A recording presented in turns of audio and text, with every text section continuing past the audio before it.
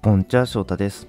今回はですね新しく来た MR 製の9元原女だかな？えっと 9, 9点原女かな、えー、っていうキャラクターが来たので話していこうかなと思います、まあ、Q ちゃんと呼ばせていただこうかなと思います、えー、こちらの Q ちゃんなんですけど、えー、まずまあこの絵なら見せてもいいかなと私の独断と偏見で思いましたのでまあ白黒なら OK だろうというところでまあ見せていきますけどちょっと足が出すぎかなでもちょっとまずいかもしれないですけど白黒なんでまあ許してください。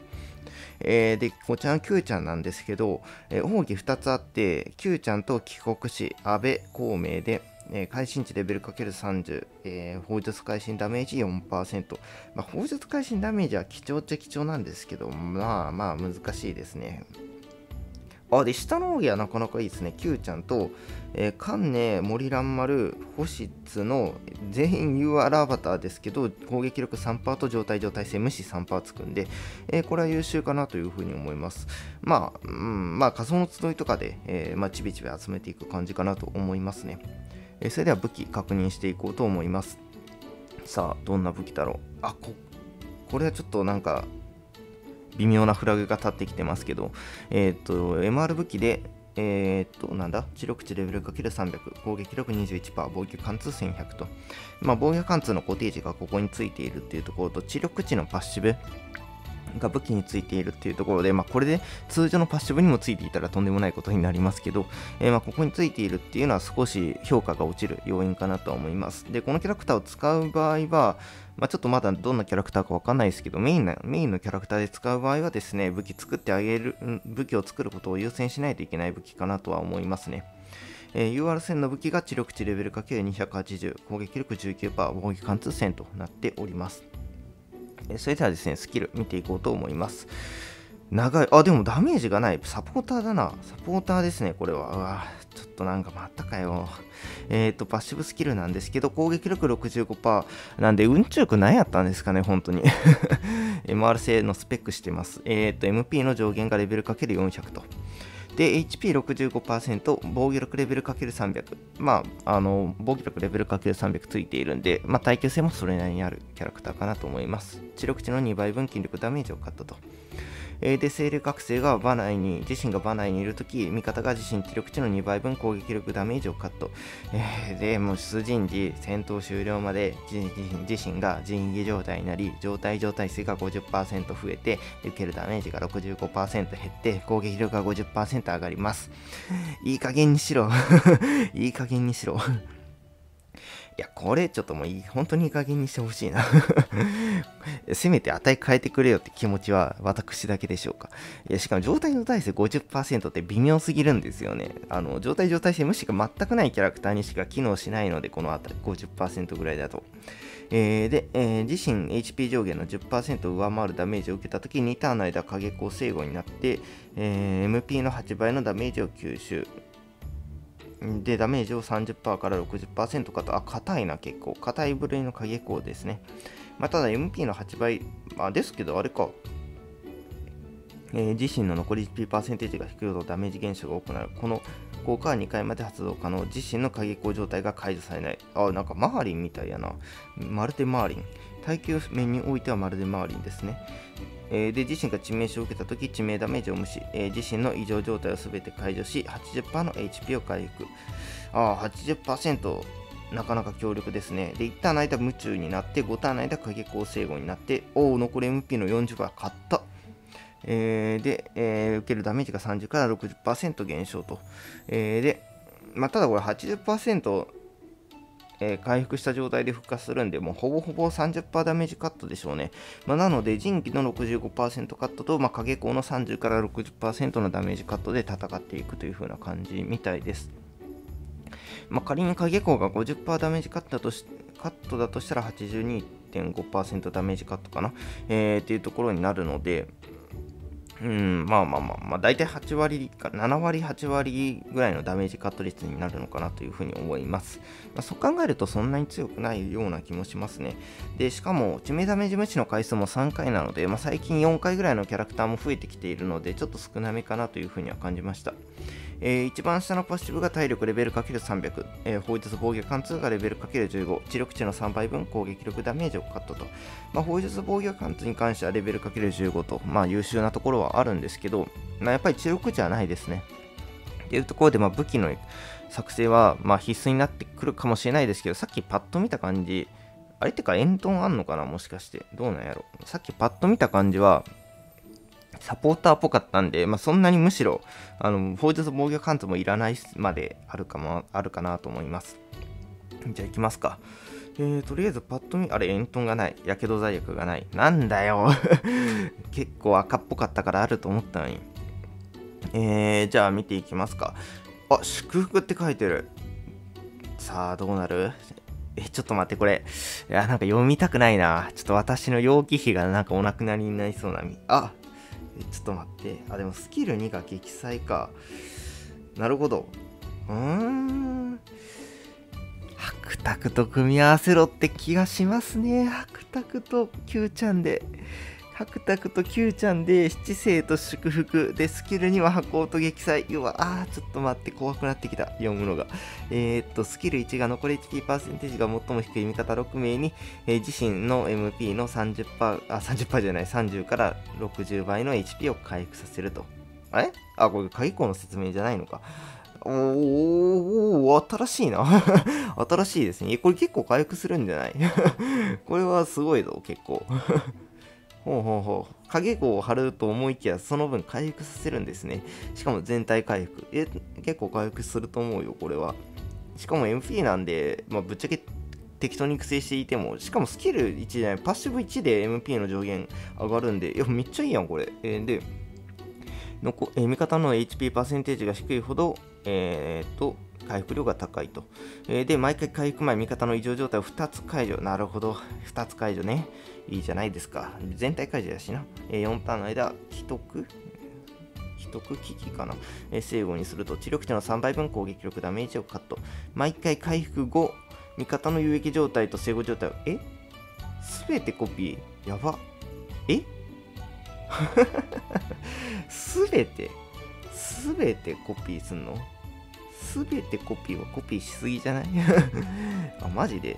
え、なんかとんでもないことになりそうやな。同種類の不状態の重ねが恐怖か？まあそりゃそうだ。援護、援護、援護、援護みたいになったら大変なことになる。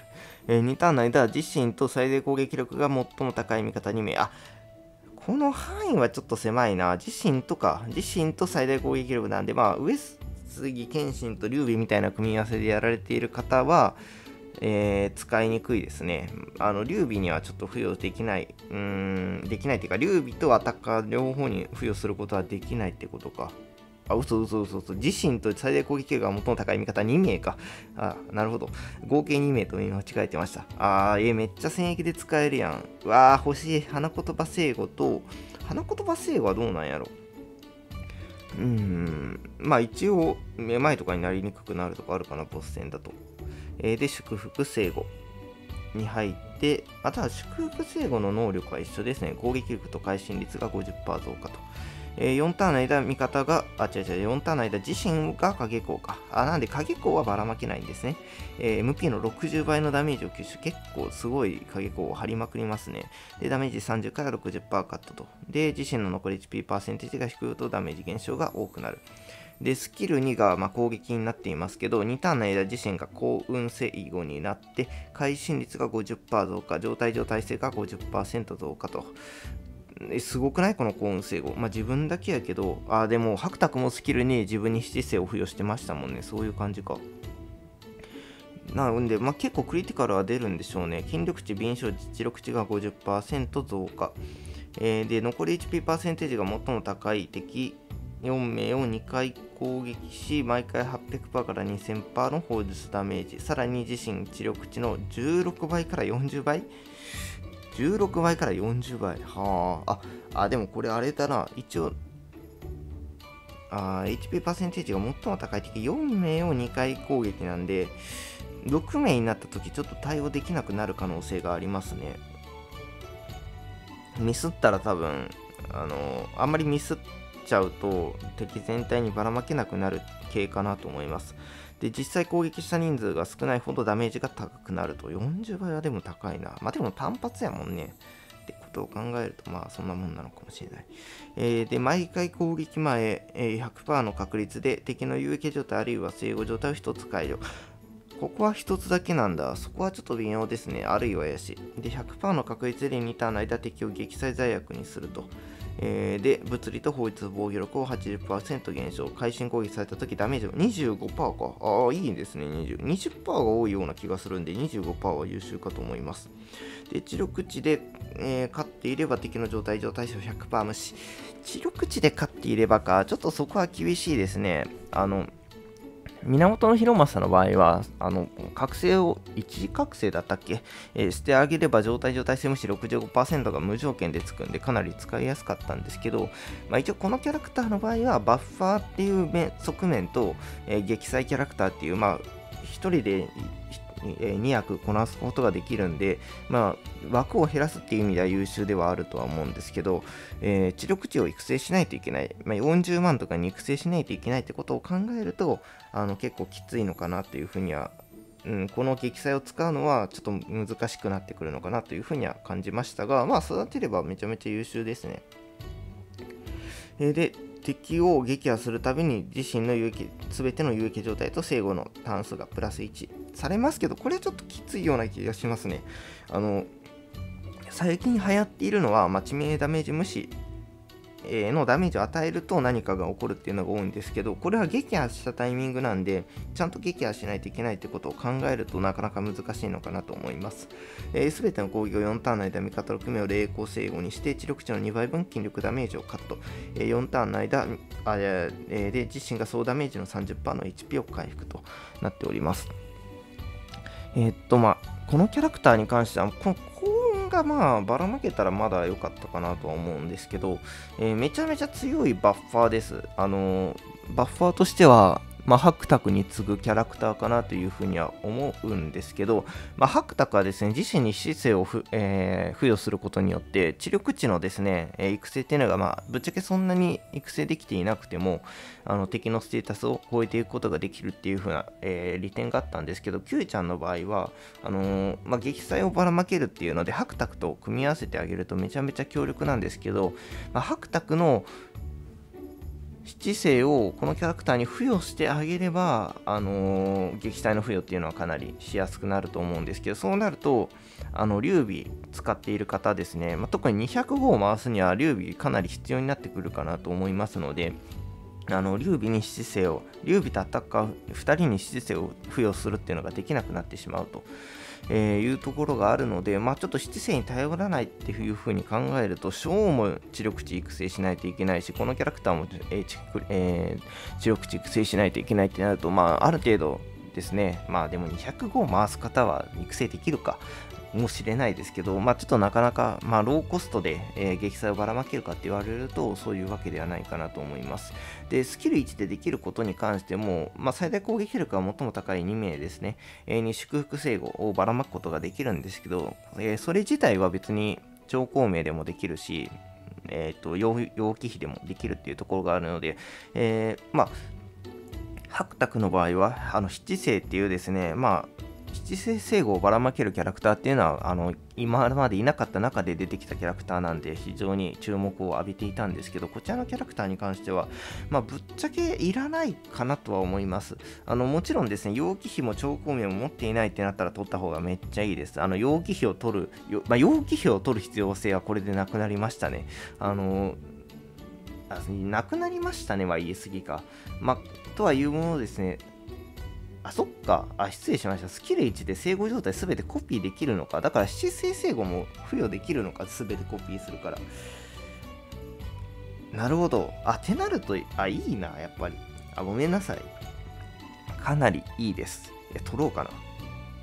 ちょっと私今、どちらかというと、取る方向に気持ちが傾いておりますけど、まあ、ちょっと考えようかなと思います。取る場合は、えー、っとですね、まあ、スキル2は打ちたいので、2回覚醒は少なくともしないといけないかな。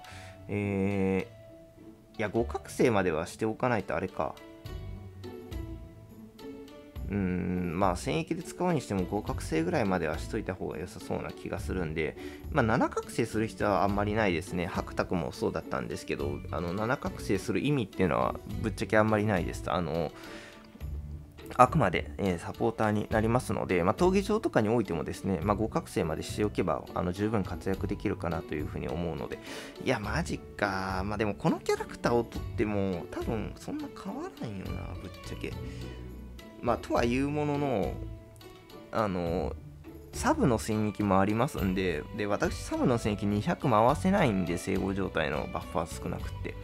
回せないっていう中で、まあ、このキャラクターを取ると、まあ、一応サブの戦役、まあ、仮に別に今は使えなくてもサブの戦役の方では確実に使えるキャラクターなのかなというふうに思ったので、